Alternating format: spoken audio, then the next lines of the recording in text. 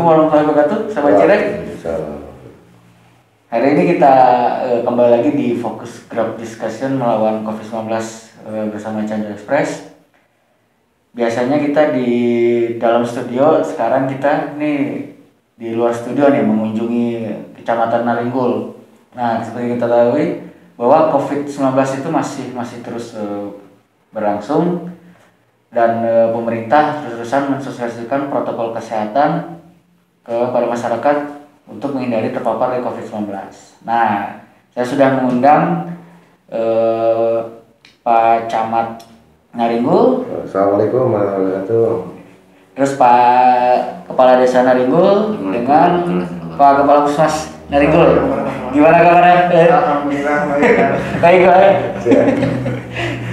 Pak, ini kan eh, ya COVID masih terus nih. Di Cianjur sendiri kan angka COVID data terakhir itu kan masih terus nambah nih, nambah. Nah, pemerintah Kabupaten Cianjur sendiri sudah eh, melakukan berbagai upaya, bukan hanya sosialisasi prokes kan, tapi juga ada instruksi agar di wilayah itu menyediakan eh, fasilitas kan gitu kan, gitu. Apalagi sekarang diperpanjang, diperpanjang nih satu second eh, ppkm mikronya ini. Nah, mungkin saya lebih dulu ke Pak Camat nih bisa eh, apa eh, menjelaskan seperti apa eh, imbauannya atau mungkin langkah-langkah yang dilakukan oleh pihak kecamatan sendiri menindaklanjuti instruksi dari mungkin pemerintah kabupaten Jasa sendiri dijelaskan. Dibuka maskernya ya. ah, betul, betul. Eh, kaitan dengan penanganan COVID di wilayah Kecamatan Naringgul, Hmm. sebagaimana yang eh, disampaikan oleh Pak Bupati melalui edarannya, juga melalui peraturan Bupati nomor 6 tahun 2021 terkait dengan eh, adanya eh, sanksi administrasi terhadap pelanggar protokol kesehatan. Ya. Nah, kaitan dengan implementasi di lapangan, eh, dari awal saya bersama Forkopincam, OPD atau PPD yang ada di Kecamatan Naringgul, juga seluruh kepala desa di Kecamatan Naringgul, tokoh agama, tokoh masyarakat, saya eh, selalu melakukan langkah-langkah atau kiat-kiat untuk penanganan COVID di wilayah Kecamatan Naringgul. Hmm. Salah satunya yang itu menjadi rutin adalah eh, melaksanakan justisi, Hmm. di mana justisi itu gabungan dari eh, kepolisian, dari eh, Koramil, Hmm. juga dari puskesmas. Hmm. Nah sekarang sudah dengan adanya aturan eh, penanganan COVID secara mikro, Ya. kami pun sudah eh, lebih ke arah desa untuk penanganan COVID di eh, desa masing-masing. Terfokus, Itu, ya. terfokus Hmm. dengan Pak Kades sebagai gugus tugas di desa, Hmm.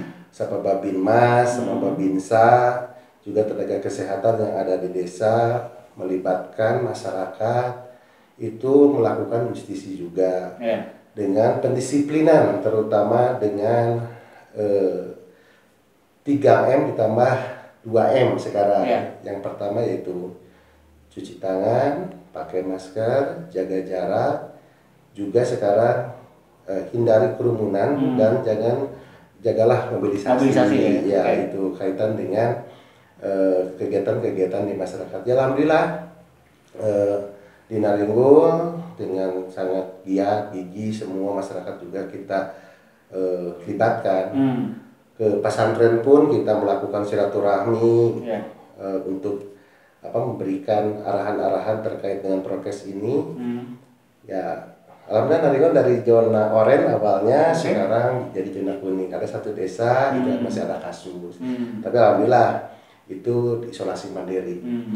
Juga eh, kami dari pihak kecamatan eh, melaksanakan instruksi bupati kaitan dengan rumah isolasi. Oke. Ya, rumah isolasi atau tempat isolasi ya, tempat Hmm. isolasi ini sudah di tiap desa itu menyiapkan. Sudah ada berarti? Sudah ada. Hmm. Nah, salah satunya kecamatan ini, ini rumah dinas camat menjadi tem- jadi eh, apa posko gugus tugas di sini. Oh iya iya. Ya, di mana ketika ada masyarakat yang masih ragu terkait dengan kegiatan-kegiatan di masyarakat, nah ke kita ke sini ke Oh, gugus tugas. oke, oke. Itu setelah dari desa. Oke. Kalau desa menyelesaikan ya kita enggak nggak ke sini masyarakatnya. Oke. Hmm. Langsung ke gugus tugas yang ada di desa atau ke satgas desa Hmm. yang diketuai oleh Pak Kades. Hmm. Nah, ini salah satunya menjadi tempat eh, di mana kita memberikan solusi, memberikan memberikan pemahaman. Oke. Nah, kami pun di sana di bawah itu ada di gedung PGRI. Hmm. Kecamatan membuat eh, tempat isolasi Tempat isolasi. hanya untuk pasien itu. Oke. Jadi pasien yang OTG yang tidak mau isolasi di rumah Bawa bisa di dibawa ke sana. sana nanti dengan bantuan polisi dengan Hmm. bantuan uh, Paramil dan yang tokoh atau yang lainnya keterlibatan dengan puskesmas Hmm. tapi yang kemarin yang positif semua isolasi mandiri Hmm. juga Pak Kades menyampaikan kepada kami Ya. Pak saya sudah eh, apa memberikan apa istilahnya eh, bantuan kepada yang terpapar COVID Oh, Nah, iya, terpapar iya. COVID itu kayak itu dengan sembako ya alhamdulillah sekarang eh, apalagi sekarang ditunjang mungkin dengan dana desa yang 8% itu untuk penanganan COVID Ya. di desa Hmm. Hmm. walaupun bertahapan sekarang eh, tapi para kades sudah sigap Oke. jadi ketika ada kasus semua eh, bergerak semua Hmm. bergerak Hmm. nah eh, selanjutnya juga sekarang ada program Jumri Jumri. jadi kecamatan dengan Perkopincam dengan kepala puskesmas itu ke Kita desa-desa ya, pesisir, ke ya. masjid-masjid yang ada di Hmm. desa di sana memberikan ya tentang tadi dengan pentingnya protokol kesehatan. Hmm. Nah jadi sekarang ini pendisiplinannya, Pendisiplinan, ya. karena masih adalah masyarakat bahwa eh, masker tidak penting mungkin karena menganggap dia tidak masih zona hijau. Nah ini kita meluruskan ini, Nah, itu ya. Meluruskan ini, jangan sampai terpapar gitu. Ya, ya, ya. Ya, mungkin eh, apa di benak masyarakat itulah mungkin tadi teh apa oh tadi teh ya. tadi ya kaitan Ya. dengan Masker. eh, masker karena ini adaptasi kebiasaan baru yang tadinya tidak ada harus ada harus pakai gitu lah kadang-kadang yang masyarakat sisanya itu Iya iya iya. jangankan masyarakat ya kita pun kan Ya, kadang- masih ya. pengap lah merasa tapi ya mudah-mudahan ini akan menjadi eh, pencegahan atau meminimalisir kaitan dengan eh, penularan COVID-19 untuk Naringo. Saya berharap Naringo masuk ke zona hijau. Hmm. Nah, persiapan sekarang kaitan dengan nanti setelah pasca COVID ini, Ya. saya, para kades, kebetulan punya BUMDes nih, eh, penanganan untuk Pemulihan ekonomi. pemulihan ekonomi. Hmm. Kita punya wisata lah. Ya. Pasti wisata Naringo hebat keren. Ya, tadi udah lihat, Pak. Ya. Mudah-mudahan ini ya wisatawan wisatawan yang mau ke Cidau Ya. dari Patenggang misalkan karena Patenggang masih di wilayah Bandung Ya. terus Cidaun yang punya laut nah mampir dulu di sini Oke. nanti bisa menikmati alam Naringgul dan insya Allah saya jamin Naringgul aman Hmm. Naringgul aman eh, masyarakatnya insya Allah eh, menerima dengan eh, apa dengan lapang dengan welcome lah ya.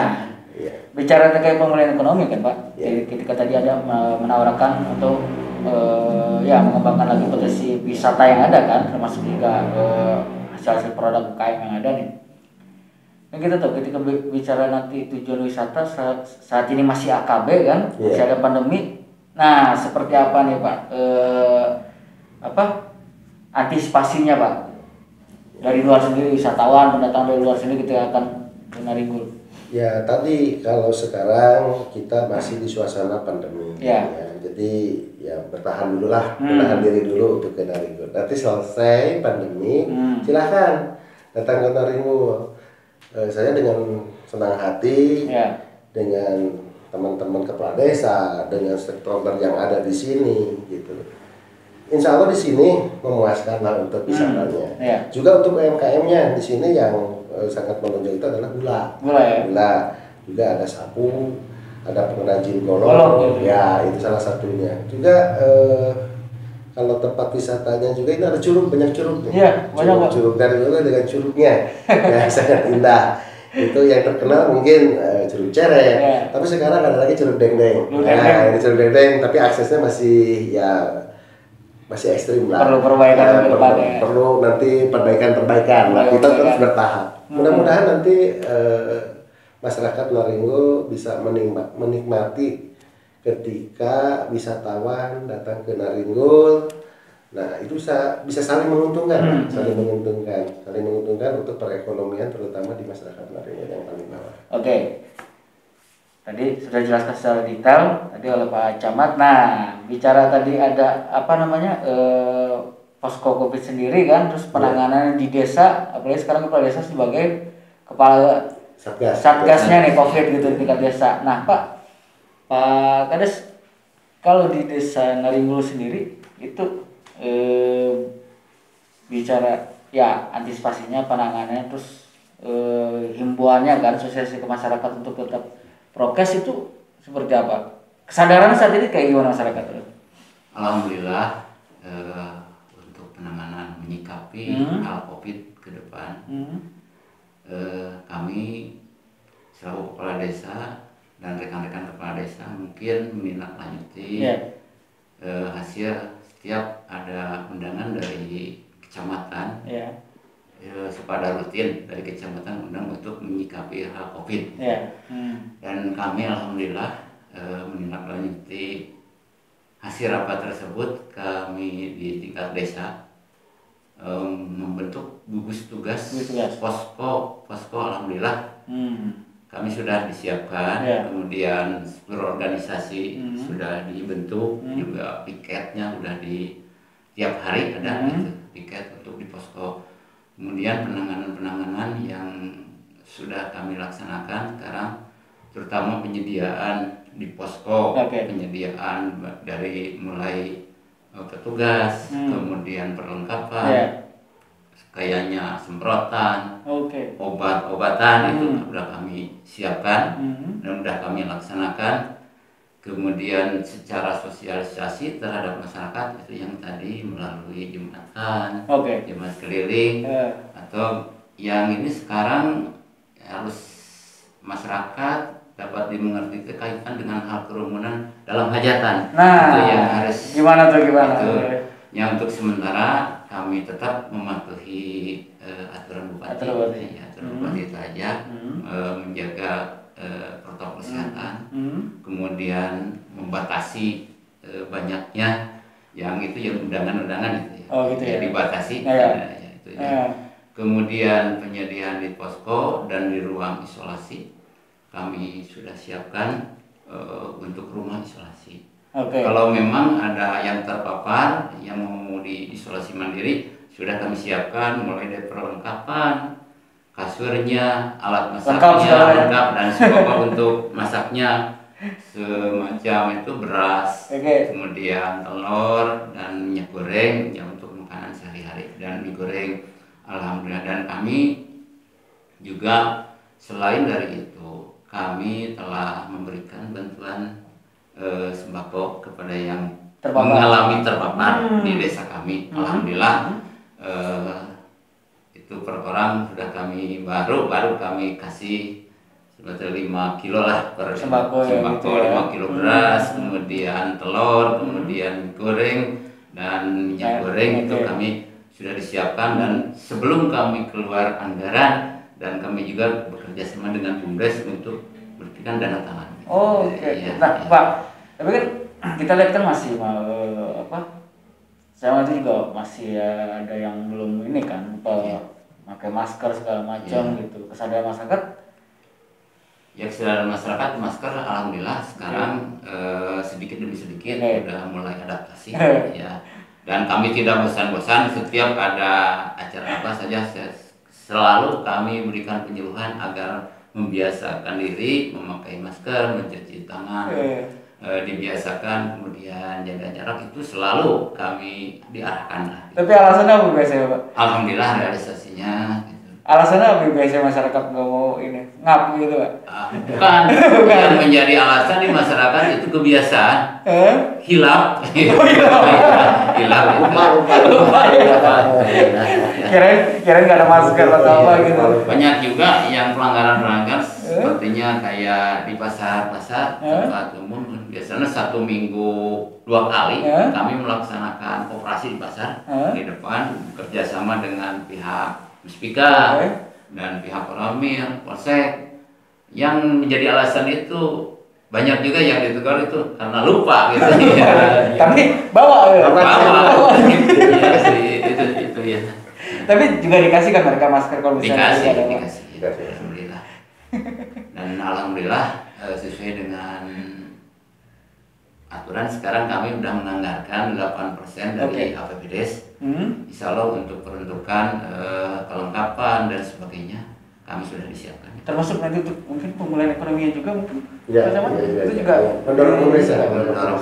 menurut desa juga ya. ya, ya Insya Allah kami pihak desa Hmm. sudah kerjasama dengan BUMDes Ya. Alhamdulillah kalau nanti eh, dilihat dari BUMDes usahanya lancar tidak terhambat sama pandemi sekarang Ya. ah, agak itu sama pandemi sekarang sepertinya biasanya eh, produk unggulan Ya. kami desa Naringo adalah bola semut Oke. Nah, kemudian yang telah terlewat, alhamdulillah untuk pemasaran udah mencapai satu minggu satu ton. Oke. Nah, sekarang ada hambatan, mudah-mudahan ke depan kembali lagi. Normal, ya. Iya, mudah-mudahan. Oke, oke. Dan insya Allah kami udah menganggarkan lagi untuk kalau memang udah lancar, kami pihak desa udah menganggarkan melalui APBDes. Oke.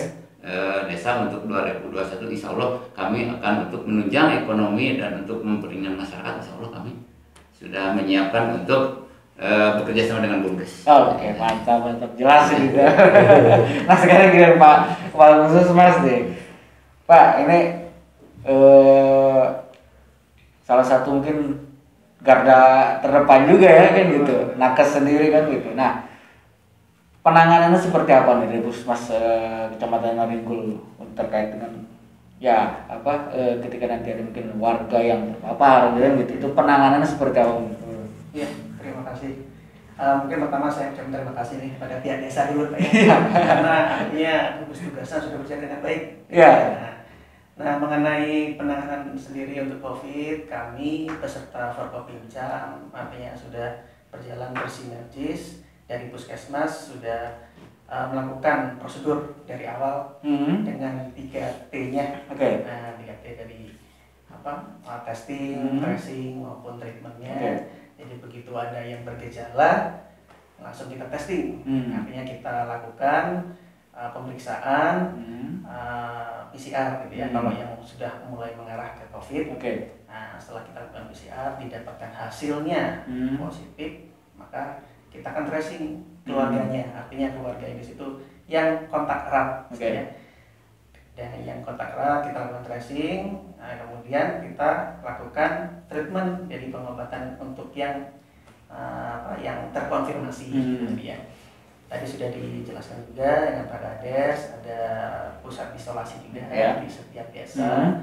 Jadi artinya secara fasilitas pun sudah dilakukan. Hmm. Nah, kita sebagai tenaga kesehatan hanya memberikan pengobatannya sel- selagi selama di selama di isolasi tersebut Hmm. ya. Hmm. Dan mungkin itu untuk untuk pengenangannya ya. Hmm. Nah, kemudian eh, dan alhamdulillah sekarang kita sudah mengarah ke vaksinasi. Nah, ini. ini. Itu salah satu penanganan, penanganan ya Pak Iya. ya. Nah, di situ untuk tahap awal nakes tenaga kesehatan sudah dilakukan. Di kecamatan sudah di Kecamatan sudah. sudah, sudah. nah, dan Hmm. sudah hampir 90% Hmm. tenaga kesehatan sudah divaksinasi. Oke, Pak Kapus kan sudah divaksin kan gitu. Alhamdulillah sudah. Nah, itu meyakinkan keluarganya seperti apa gitu, Pak? Meyakinkan keluarga Ya ke masyarakat Sendiri, gitu kan gitu. Ya, alhamdulillah keluarga eh, masih banyak apa dari tenaga kesehatan ya. Hmm. Artinya mereka sudah sudah punya apa ya? Punya apa? Memiliki kemauan tersendiri ya. Sudah, Ya. sudah sadar gitu ya. Atau sudah Ah. sadar memang vaksin itu memang perlu gitu ya, untuk, untuk kita. Gitu. Nah, untuk meyakinkan masyarakat ya, tadi mungkin dengan kita melakukan terlebih dahulu Terlebih dahulu ya. ya Selamat pertama aja siap. sebagai pemimpin di daerahnya gitu kan mungkin kita harapkan nanti bisa melakukan dan mungkin nanti bisa diikuti oleh masyarakat yang lain. Ya, karena kan juga ya itu tadi kan banyak banyak juga kan yang apa informasi-informasi apa hoax gitu kan. Iya. Vaksin ini tidak aman, tidak halal segala macam. Itu akhirnya masyarakat pun juga Takut. takut dikhawatirkan kan gitu. Tapi sama saya juga sudah Ya. dengan MUI sudah Ah. saya sampaikan. Saya setiap ada rapat dengan rapat koordinasi Ya. dengan Kades, para UPTD, eh, gugus tugas, Ya. di mana gugus tugas ke- kita sudah buatkan surat keputusan camatnya udah Hmm. dibuatkan. Jadi semua insya Allah lah untuk vaksinasi nanti juga kita ke masjid-masjid tadi ya ke Hmm, ke hmm. tokoh-tokoh agama. Hmm. Eh, mudah-mudahan ini eh, bisa lebih menyebar luaskannya lebih Masih gampang ya, gitu ya, lebih masih ya. gampang. Mudah-mudahan di Naruto semua bisa. Ya, dengan melibatkan- Tidak ada hambatan lah Allah. Dengan melibatkan juga eh, tokoh-tokoh agama juga Ya. penyampaiannya bisa lebih ini ya. Betul. Benar sehat lah, sebetulnya sehat lah. Waktu mau divaksin itu sehat aja gitu. Sehat aja ya. Alhamdulillah kami juga pihak desa Iya. telah menyiapkan dari mulai kepala desa, perangkat desa sampai dengan supaya lebih yakin di masyarakat. Hah? RT dan RW juga nanti yang terutama tangan-tangan kami yang ada di lapangan itu Hah? RT dan RW. Kalau memang udah RT dan RW eh, yang lebih dekat dengan masyarakat, kami sudah siapkan RT RW. Siap, ya. Iya. Wah. Sudah sudah saya sampaikan datanya ke puskesmas sudah. Sudah. Datanya sudah. Sudah, sudah. Kecamatan sudah, desa juga sudah. ya, ya eh, mungkin imbauannya mungkin terakhir Pak Camat untuk masyarakat depannya gitu. Eh, eh, tetap himbauan, Ya.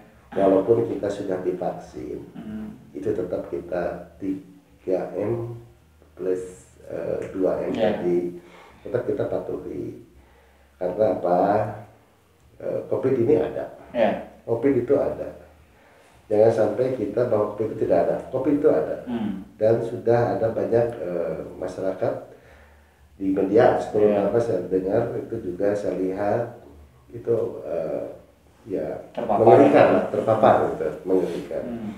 jadi himbauannya ayo selalu patuhi protokol kesehatan Oke.